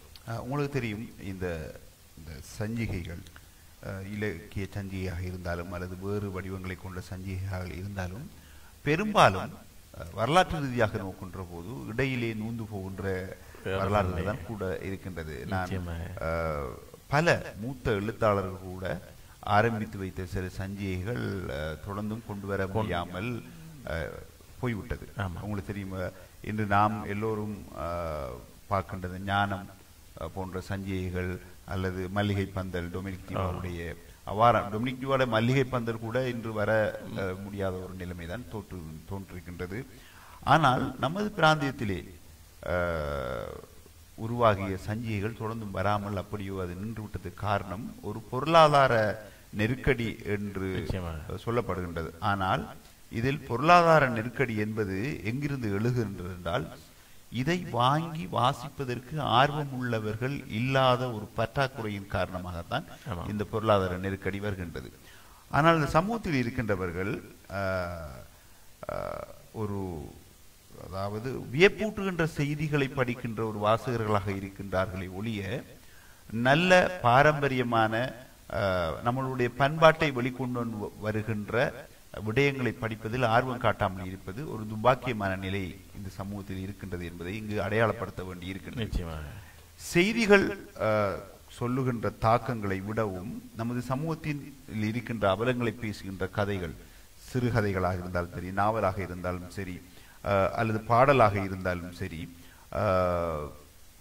அவற்றுடைய பரிமாணம் மிக முக்கியமான ஒரு பரிமாணமாக இருக்கின்றது. ஆனால் அவ்வாறான நாவல்களையோ சிறுகதை தொகுப்புகளையோ அல்லது கவிதை தொகுப்புகளையோ வாங்கி படிக்கின்ற ஆர்வலர்கள் நமது சமூகத்திலே இல்லாமல் இருப்பது மிக முக்கியமான இடைவெளியாகத்தான் பார்க்கப்பட வேண்டியது. அவர்கள் இதை எங்களுடைய பிராந்தியத்துடைய ஒரு புதல்வனால் வெளிக்கொண்டு வருகின்ற ஒரு விடயம் என்று அவர்கள் அதை ஆர்வத்தோடு தேடி வாங்கி வாசித்து பயன்பெற்று அதை அவருடைய சந்ததிகளுக்கு மூலவும் கையளிக்கின்ற ஒரு நிலைமை இந்த பிராந்தியத்திலே ஏற்படுமாக இருந்தால். நாட்டிலே ஏற்படுமாக இருந்தால் நிச்சயமாக படைப்பாளிகள் ஒருபோதும் தலைகுனிந்து நடக்க வேண்டிய தேவை இருக்காது. உங்களுக்கு தெரியும். பலர் மிக முக்கியமான ஆவணங்களை ஆவணங்களை சேர்த்து வைத்திருக்கின்றார்கள். நீண்ட கால பாரம்பரியத்தை உடைய எழுத்தாளர்களாக இருப்பார்கள். ஆனால் அவர்களுக்கு ஒரு தொகுப்பை கொண்டு வர முடியாத துபாக்கிய நிலை நிலை இருக்கும். இது இவ்வாறான நிலைகளில் இருந்து மீள்வதற்கு வாசகர்கள் என்கின்ற இந்த மானிடர்கள் முன்வர வேண்டும் என்பது பொதுவான ஒரு திறந்த வழி கோரிக்கையாக இந்த இடத்தை நாங்கள் வைக்க வேண்டியிருக்கின்றது. எதிர்காலத்தில் இந்த கீரல் சஞ்சிகை ஏனைய சஞ்சிகை போல் இடை நடுவிலே முறிந்து விழுந்து விடாமல் இருப்பதற்கு நாங்கள் இந்த நேரத்திலே வல்ல இறைவனை பிரார்த்தித்துக் கொண்டு தொடர்ந்தும் நாங்கள் பேசுவோம். இந்த ஒலிவில் மண் இன்று எதிர்நோக்கின்ற பிரச்சனை இந்த கடல் அரிப்பு பிரச்சனை மிகவும் முக்கியமான ஒரு பிரச்சனையாக இருக்கின்றது. இந்த பிரச்சனையை நீங்கள் வேறு ஒரு வடிவ வடிவத்தில் நாட்டினுடைய அரசுக்கு சொல்வதற்காக ஏதாவது ஒரு ஒரு குறும் திரைப்பட வடிவிலே கொண்டு போவதற்கான எத்தனிப்புகள் உங்களிடம் இருக்கின்றதா? நிச்சயமாக. நாங்கள் இதனை ஏற்கனவே இது தொடர்பாக கலந்துரையாடல் ஒன்றை மேற்கொண்டிருக்கின்றோம். இந்த கடலரிப்பு என்கின்ற விடயம் இப்பொழுது நாம் முந்தி முன்னர் பேசியது போல தனியே ஒலிவிலுக்கு மாத்திரம் அல்லாது இதனை அந்திய பிரதேசங்களுக்கும் இப்பொழுது இந்த கடலரிப்பு மிகவும் அதிகமாக இருக்கின்றது. எனவே இதன் மூலம் பாதிக்கப்பட்ட அடிமட்ட மக்கள் அவர்களுடைய பிரச்சனை சம உயர்மட்டங்களுக்கு சொல்லப்பட வேண்டும். எனவே எழுத்து மூலம் அல்லது மனு கொடுப்பதன் மூலம் அல்லது அரசியல்வாதிகளின் காதுகளுக்கு கொண்டு செல்வதன் மூலம் இவைகள் அஹ், இதுவரைக்கு பயனற்றுத்தான் இருக்கின்றது என்றே கூற வேண்டும். இதுக்கான ச- சரியான முயற்சிகள் இடம்பெறவில்லை. எனவே இப்பொழுது எல்லோரிடமும் கையடக்க தொலைபேசிகளும் அதனை காலையில் எழும்பியவுடன் பல் துளக்குறகளோ இல்லையோ கையடக்க தொலைபேசி எடுத்து ஃபேஸ்புக் பார்க்கின்ற ஆர்வம் எல்லோரிடம் இருந்து கொண்டிருக்கின்றது. அது கீழ் மட்டத்தில் இருந்தாலும் சரி உயர் மட்டமாக இருந்தாலும் சரி. எனவே அந்த பார்க்கின்ற வடிவங்களில் மக்களுடைய பிரச்சனைகளை சுருக்கமாக சொல்லக்கூடிய ஒரு வடிவம் என்றால் அது குறும்படம் தான். எனவே அவ்வாறான குறும்படங்களூடாக இன்று சமூக வலைத்தளங்களில் சொல்லப்படுகின்ற செய்திகள் ஏராளம். சிறிய ஒரு ஒரு ஓரிரு நிமிடங்களுக்குள் சொல்லப்படுகின்ற பிரச்சனைகள் நமது மனதின் தாக்கங்களை ஏற்படுத்துகின்றன. அவ்வாறான ஒரு விடயம் மூலமாகத்தான் இந்த மக்களுடைய பிரச்சனையை நாங்களும் கொண்டு செல்வதற்கான முயற்சியில் ஈடுபட்டு கொண்டிருக்கின்றோம். இன்ஷா அல்லாஹ் இறைவன் உதவியோடு அடுத்த எங்களுடைய குறும்படங்களில் இவ்வாறான சமூக பிரச்சனைகளை தான் நாங்கள் முன்னெடுக்க உள்ளோம். எனது நண்பர் இங்கே என்னோடு இன்றைய நிகழ்வுக்கும் வந்திருக்கின்றார் நண்பர் ஜெட்டம் நிலாம் அவர்கள். அவரும் நானும் தான் இவ்வாறான முயற்சிகள் தொடர்பான கலந்துரையாடல் அடிக்கடி மேற்கொண்டு எங்களுடைய அடுத்த கட்ட முயற்சிகளில் இவ்வாறான சமூக பிரச்சனைகளை நாங்கள் உள்வாங்குவதற்கான முயற்சி ஈடுபட்டுக் கொண்டிருக்கின்றோம் நிச்சயமாக. ஆம், இப்போ உங்களுடைய அந்த மின்னல் வெளியீட்டகம் ஆமா. நீங்கள் ஒரு குழுவாக இயங்கி இருக்கின்ற அந்த மின்னல் வெளியீட்டகம் இப்போது எவ்வாறான விடயங்களிலே கவனம் செலுத்தி வருகின்றது? எதிர்காலத்திலே எவ்வாறான இவ்வாறான விடயங்களை விரிவுபடுத்துவதற்கு திட்டங்கள் திட்டிருக்கின்றீர்கள் நாங்கள் மிக அண்மையில் இப்பொழுது தேவையாக இருந்து கொண்டிருக்கின்ற ஒரு விடயத்தை பற்றி நாங்கள் அண்மையில் பேசியிருந்தோம். அதாவது கவிதை கவிதை பட்டறை ஒன்றினை செய்வதற்கான முயற்சி நாங்கள் இருந்து கொண்டிருக்கின்றோம் ஏனெனில் இன்று சமூக வலைத்தளங்களை பார்த்தால் நிறைய இளைய எழுத்தாளர்கள் புது வரவுகள் கவிஞர்களாக நிறைய பேர் எழுதி கொண்டிருக்கின்றார்கள் உண்மையில் அவையில் பார்க்கும்போது மகிழ்ச்சியாக இருக்கின்றது. அவர்களை செதுக்கி ஒரு நிலைக்கு கொண்டு வந்து அவர்களை சரியான முறையில் அவர்களை எழுத பயிற்றுவிக்க வேண்டிய ஒரு தேவைப்பாடு இருந்து கொண்டிருக்கின்றது. அப்போதுகளில் நாங்கள் ஒரு கவிதை எழுதிவிட்டு பத்திரிகைக்கு அனுப்பி அங்குள்ள அந்த பத்திரிகைக்குரிய அந்த கவிதை பகுதிக்குரிய ஆசிரியர் அதனை திருத்தி அதனை சரியான வடிவத்தில் பிரசுரிக்கும் வரை காத்திருப்போம். இன்று அவ்வாறில்லை கவிதை உடனே முக முகநூல் தளத்தினை எடுத்து வைத்துக்கொண்டு டைப் பண்ணிவிட்டு அப்படியே போஸ்ட் பண்ணி விடுவார்கள் அதில் உள்ள பிழைகளையோ அது அதனை காட்டி ஒருத்தருடைய அபிப்பிராயங்களை பெற்று அதனை போடுகின்ற. எந்த நிலைமையும் இல்லை. யாருடைய ஆலோசனையும் கேட்க தேவையில்லை. எவரும் நமக்கு கட்டுப்பாடு விதிக்க வேண்டும் நிலையும் இல்லை. எனவே அந்த இடத்திலேயே அவர் போடுகின்ற கவிதைக்கு அவர் சார்ந்தவர்கள் அருமை.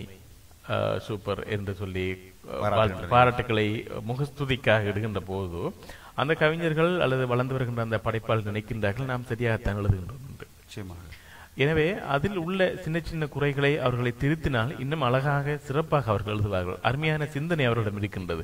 அவர்கள் சொல்ல வருகின்ற விடயங்கள் உண்மையில் சிறப்பான விடயங்கள். எனவே அவர்களை வழிப்படுத்தி நெருப்படுத்த வேண்டிய ஒரு தேவை எங்களுடைய மின்னல் வெளியீட்டத்துக்கு இருக்கின்றது என்ற நிலையை நாங்கள் உணர்ந்தோம். எனவே இவர்களுக்கான ஒரு பயிற்சி பட்டறை ஒன்றினை ஒரு நான்கு ஐந்து வகுப்புகளாக செய்வதற்கான ஏற்பாடுகளை நாங்கள் செய்து கொண்டிருக்கின்றோம்.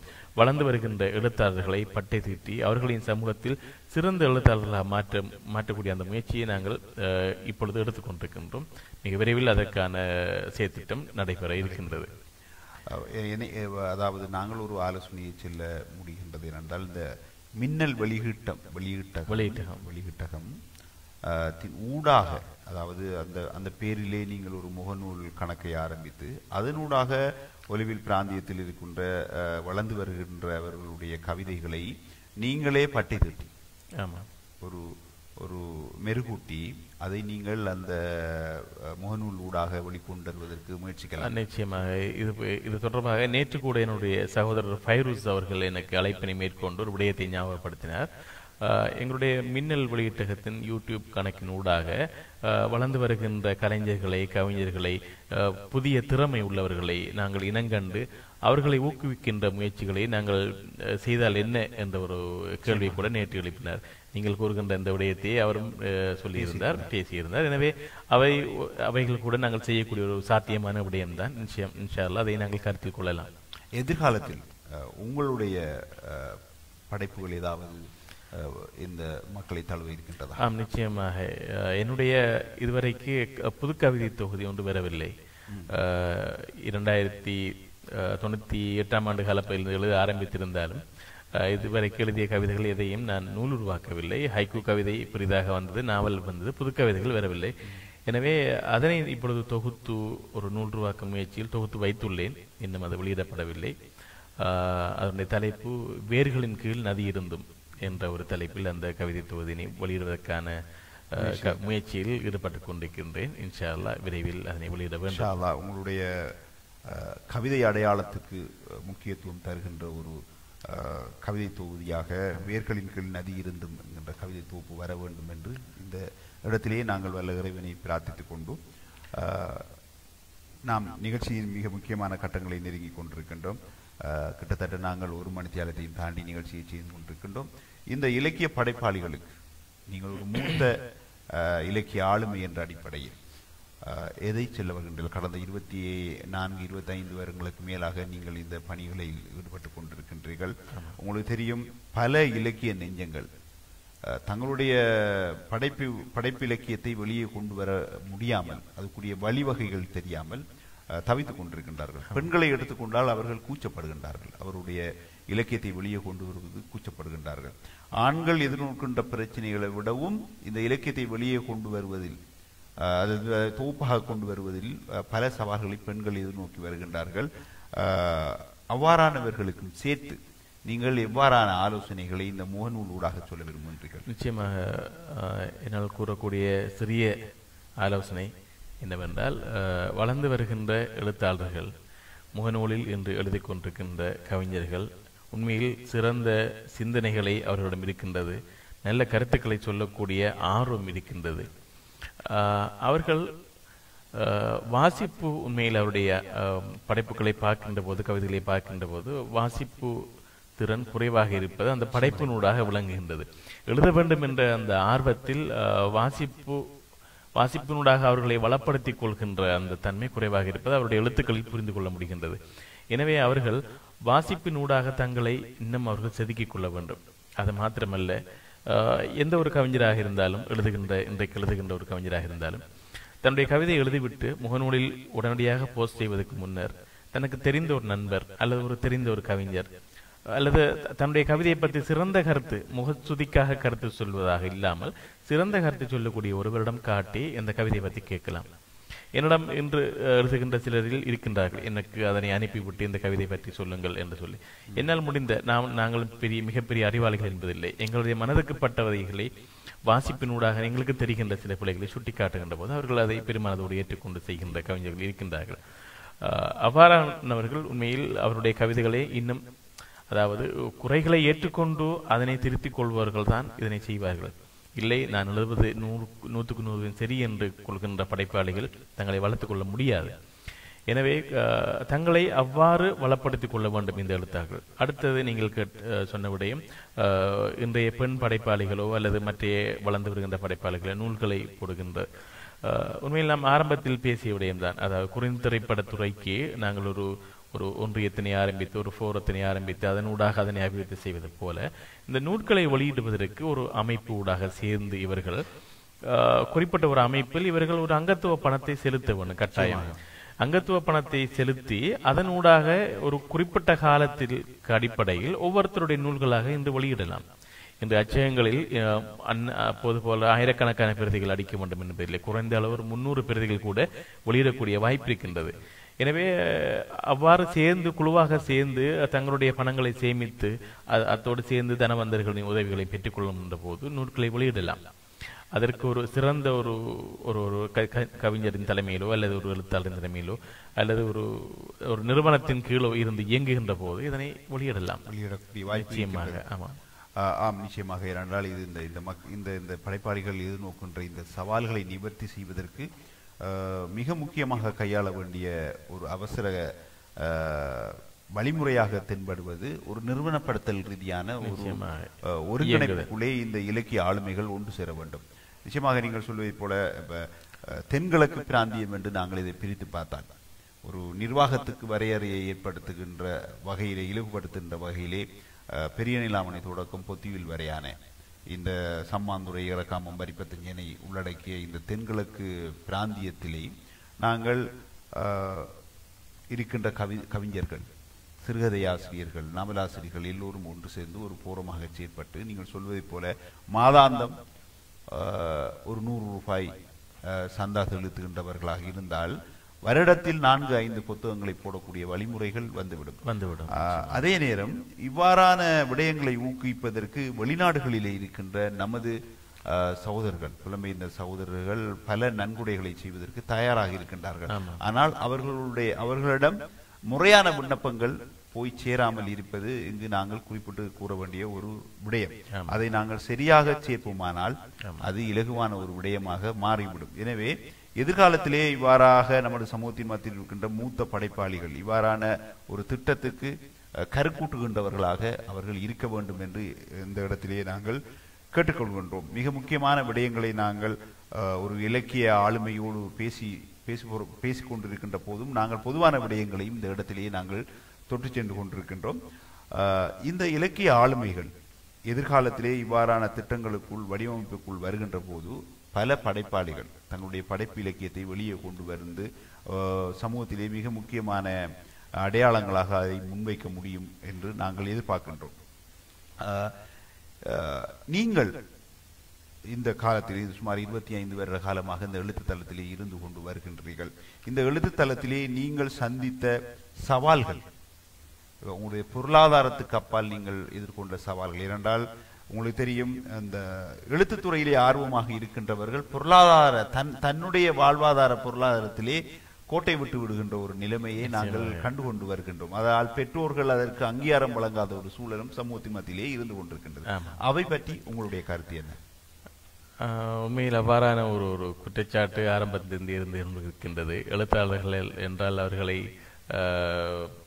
மிகவும் அதாவது ஒரு துறையில் மாத்திரமே இருந்து கொண்டிருப்பார் எழுத்தை நம்பி மாத்திரமே இருந்து கொண்டிருக்கின்றார்கள் என்ற அந்த நிலை இன்று அவ்வாறு இல்லை என்றே கூறலாம். நிறைய பேர் தங்களது வேறு தொழில்களை செய்து கொண்டு இலக்கியத்தை ஒரு அதனுடைய போக்கில் விட்டுக்கொண்டு செல்கின்ற ஒரு நிலை காணப்படுகின்றது.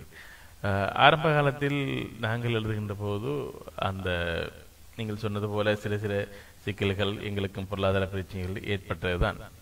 உதாரணத்துக்கு பத்திரிகைக்கு ஒரு கவிதை அனுப்ப வேண்டும் என்றாலும் அதற்குரிய முத்திரை செலவு கூட சில வேளைகளில் இல்லாமல் இருக்கின்ற காலங்கள் இருந்தது.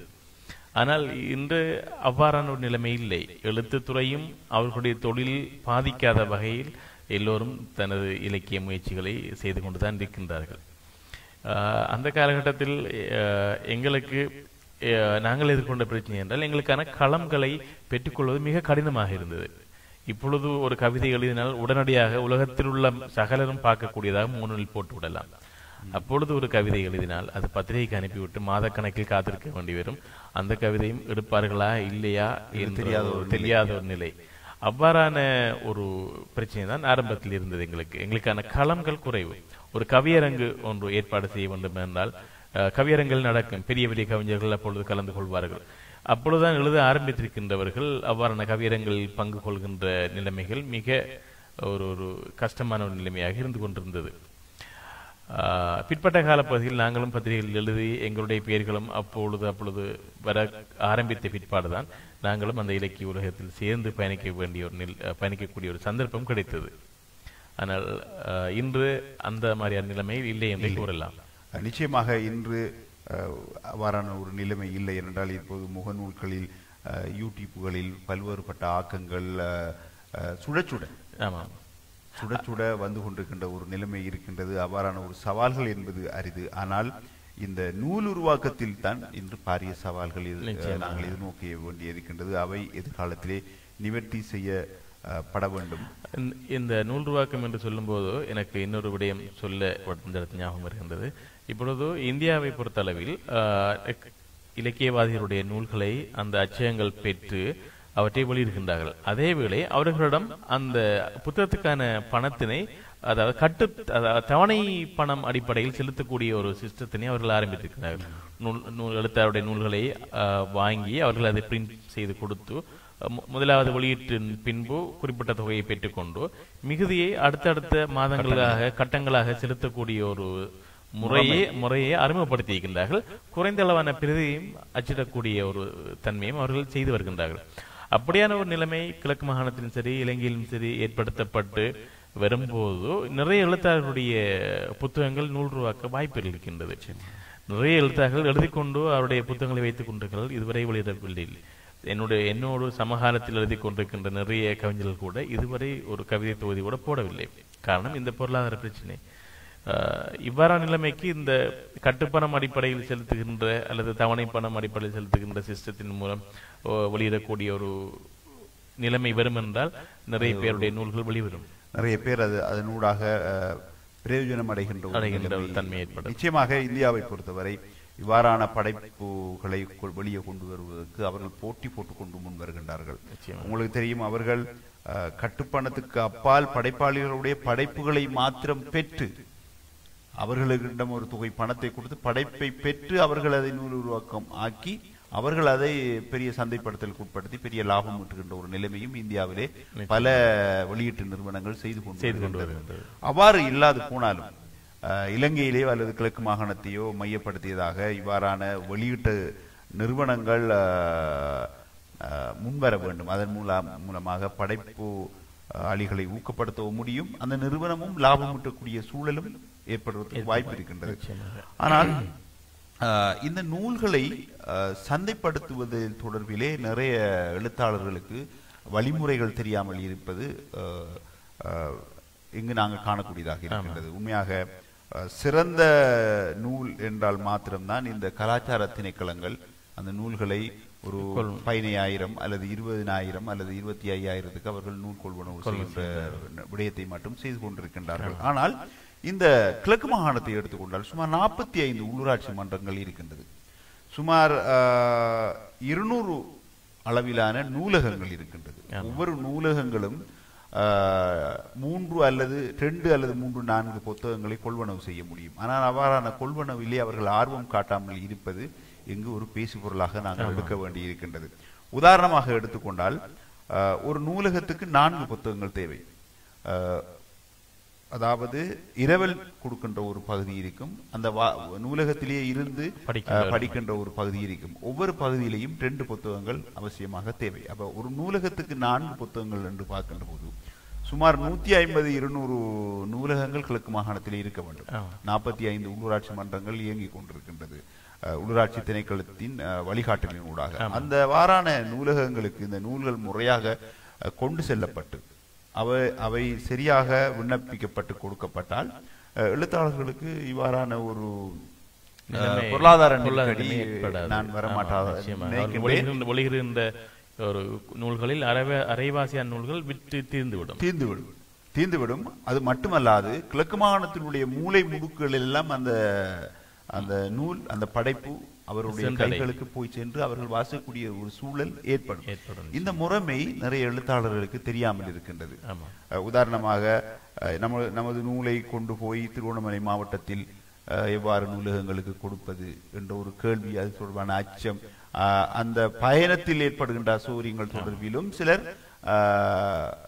யோசித்துக் கொண்டு முயற்சியை கைவிடுகின்ற ஒரு நிலைமை இருக்கின்றது அவ்வாறு இல்லாமல் இவ்வாறான அந்த எழுத்தாளர்கள் உதாரணமாக ஒரு பெண் எழுத்தாளருக்கு அவ்வாறு நடக்க நடக்க முடியாத ஒரு சூழல் இருக்கின்றது அவ்வாறான பெண் எழுத்தாளர் அதை முறையாக நீங்கள் சொல்கின்ற அந்த நிறுவனப்படுத்தல் ஊடாக அணுகுவாகராக இருந்தால் அந்த நிறுவனமே கொண்டு அந்த உள்ளூராட்சி மன்றங்களுக்கு காசோலையை பெற்றுக் கொண்ட நிலைமையை.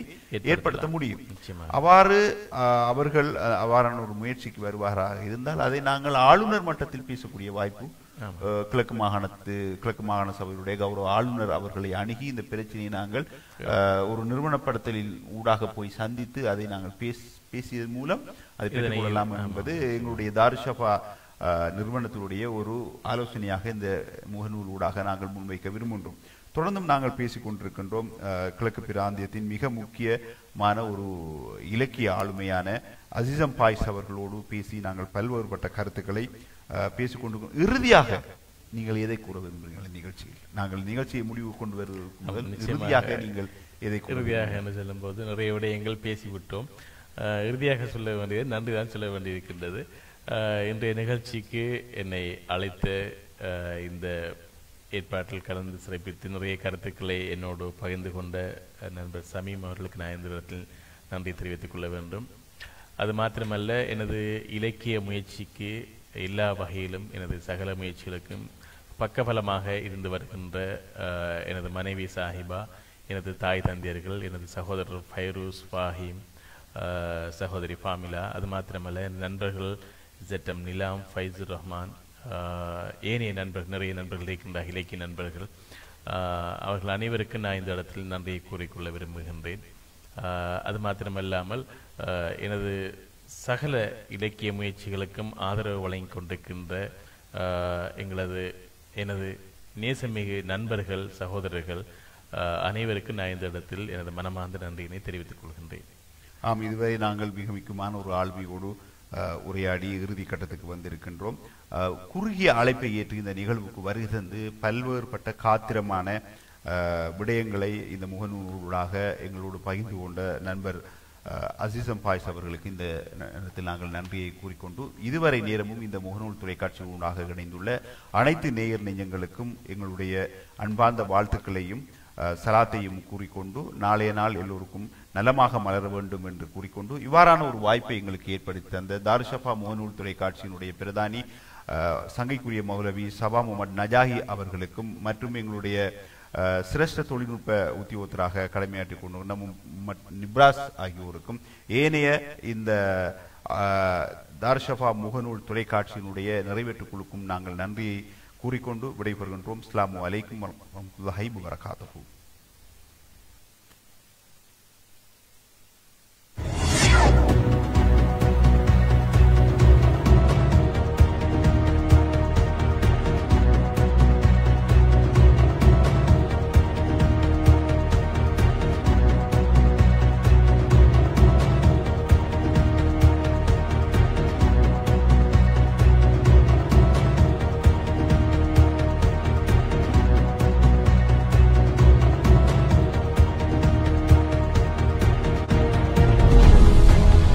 ஆளுமை ஆளுமை.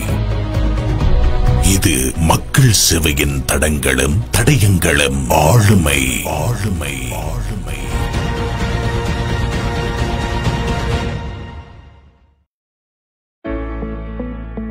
Doctor Jameel memorial hospital eye surgery கண் சத்திர சிகிச்சை மூக்கு கண்ணாடிக்கான இலவச கண் பரிசோதனை. டாக்டர் ஜெமியல் மெமோரியல் ஹாஸ்பிட்டல் இலக்கம் முப்பத்தேழு காசிம் வீதி கல்முனை ஹாட்லைன் பூஜ்ஜியம் ஆறு ஏழு இரண்டு இரண்டு இரண்டு ஒன்பது ஒன்று எட்டு எட்டு. அதிநவீன தொழில்நுட்ப உபகரணங்களை பயன்படுத்தி சத்திர சிகிச்சைகள் தரம் வாய்ந்த கண் வில்லைகள். அனுபவம் வாய்ந்த வைத்திய நிபுணர்கள். டாக்டர் ஜெமீல் மெமோரியல் ஹாஸ்பிட்டல் பல வருட அனுபவம் பெற்ற கண் சத்திர சிகிச்சை நிபுணர்கள் மூலம் ஜப்பானிய தரத்தில் கண் லென்ஸ்களை கொண்டு ஒவ்வொரு மாதமும் கண் சத்திர சிகிச்சைகள் நியாய கட்டணத்தில் ஏனைய வைத்தியசாலைகளை விட குறைந்த கட்டணத்தில் முப்பத்தாறு ஆண்டுகள் அனுபவம் பெற்றது. தரம் வாய்ந்த டாக்டர் ஜெமீல் மெமோரியல் ஹாஸ்பிட்டல் சகல வசதிகளையும் கொண்டு கண் சத்திர சிகிச்சை உட்பட அனைத்து சத்திர சிகிச்சைகளையும் மேற்கொண்டு வருகிறது. டாக்டர் ஜெமீல் மெமோரியல் ஹாஸ்பிட்டல் முப்பத்தேழு காசிம் வீதி Kalmunai.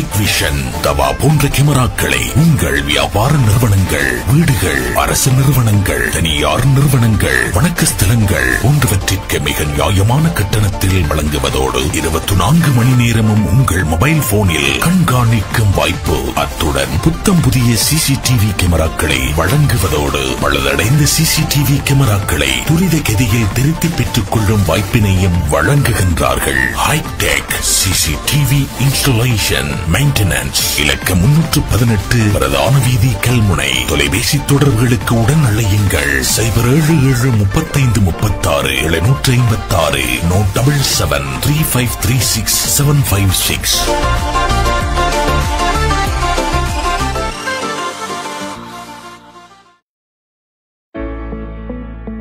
Doctor Jameel memorial hospital eye surgery கண் சத்திர சிகிச்சை மூக்கு கண்ணாடிக்கான இலவச கண் பரிசோதனை. டாக்டர் ஜெமீல் மெமோரியல் ஹாஸ்பிட்டல் இலக்கம் முப்பத்தேழு காசிம் வீதி கல்முனை ஹாட்லைன் பூஜ்ஜியம் ஆறு ஏழு இரண்டு இரண்டு இரண்டு ஒன்பது ஒன்று எட்டு எட்டு. அதிநவீன தொழில்நுட்ப உபகரணங்களை பயன்படுத்தி சத்திர சிகிச்சைகள் தரம் வாய்ந்த கண் வில்லைகள். அனுபவம் வாய்ந்த வைத்திய நிபுணர்கள். டாக்டர் ஜெமீல் மெமோரியல் ஹாஸ்பிட்டல் பல வருட அனுபவம் பெற்ற கண் சத்திர சிகிச்சை நிபுணர்கள் மூலம் ஜப்பானிய தரத்தில் கண் லென்ஸ்களை கொண்டு ஒவ்வொரு மாதமும் கண் சத்திர சிகிச்சைகள் நியாய கட்டணத்தில் ஏனைய வைத்தியசாலைகளை விட குறைந்த கட்டணத்தில் முப்பத்தாறு ஆண்டுகள் அனுபவம் பெற்றது. தரம் வாய்ந்த டாக்டர் ஜெமீல் மெமோரியல் ஹாஸ்பிட்டல் சகல வசதிகளையும் கொண்டு கண் சத்திர சிகிச்சை உட்பட அனைத்து சத்திர சிகிச்சைகளையும் மேற்கொண்டு வருகிறது. டாக்டர் ஜெமீல் மெமோரியல் ஹாஸ்பிட்டல் முப்பத்தேழு காசிம் வீதி கல்முனை